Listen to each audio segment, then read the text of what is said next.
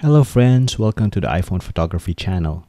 In today's video, we're going to be showing you how to achieve better images in difficult backlit scenes with just your iPhone using RAW HDR bracket merging and Luminar Neo. In case you didn't know, last year, Skylum released an HDR merging extension for Luminar Neo called HDR Merge, which we're going to be using in today's video. As always, to capture the iPhone RAW HDR brackets, we're going to be using Aura HDR camera app, which is available in the Apple App Store. This app is built for HDR and allows you to shoot both RAW and JPEG brackets with very little effort. So the method of taking the HDR is similar to the previous video. We're going to be using the high quality RAW bracket shooting mode though you could also use just the normal raw bracket shooting. In case you're wondering, the difference is high quality raw bracket shooting is really meant for low light shooting with a tripod and it's designed to achieve images with the lowest possible ISO. So it's really built for low light shooting. But we don't have the problem here. The scene is very bright and the ISO is low. So as you can see in this scene, the sun is still bright in the sky and is causing our foreground to be severely underexposed. So once we've taken the shot, this will result in three exposures, which are each separated by two stops.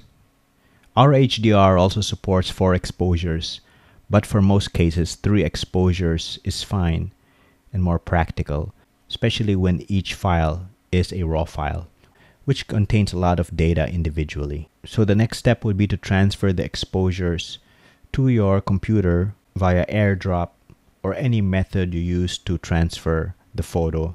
And then we can use Luminar Neo to merge the exposures. So let's do that now. All right, here we are in Luminar Neo. The first step that we need to do is to import the photos. We can do that by just adding in the folder. So we just click on File, then add folder with images.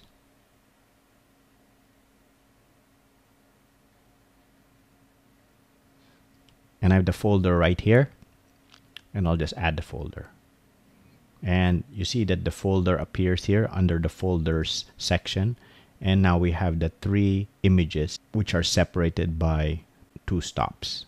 Okay so this was the bright image. This is the normal exposure and this is the dark exposure. Let's just go back to the catalog here. So once we have the three exposures, all we need to do is to drag it into this HDR merge box here.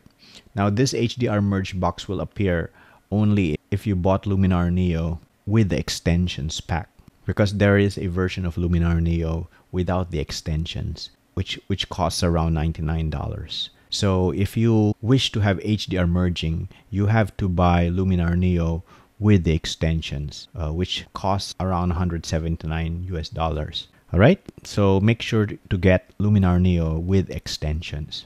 Let's drag these three images here. Just select them and just drag it into HDR merge. And then just click merge here. Alright, so the merge is done and it will appear in this folder called HDR merge. So I'm just going to double click that and it looks fine. You can see it looks very natural and it does recover the detail in all three exposures. So we're now seeing detail in our highlights as well as our shadow area. But we can edit this further with Luminar's very useful tools. So let's just do that. All right, so let's just edit this and make it stand out a little bit more.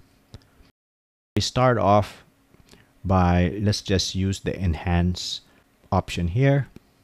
And then we can just increase the accent here. We can just drag the accent slider, which will do some automatic adjustment. And you can see how nicely it brings the detail in the shadows and the highlights with just one slide. So very easy to use.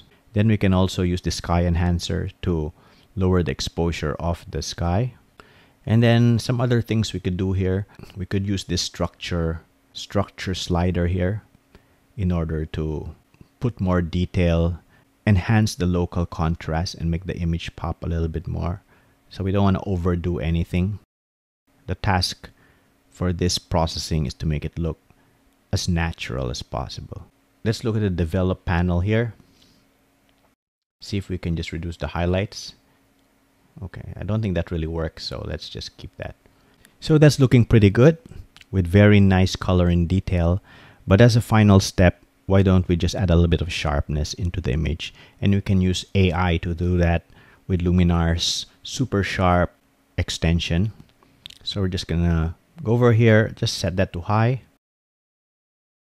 So let's now do the comparison. This was the before and the after. So do check out Aura HDR on the App Store. It's the easiest way to get RAW or JPEG brackets and has a ton of powerful features.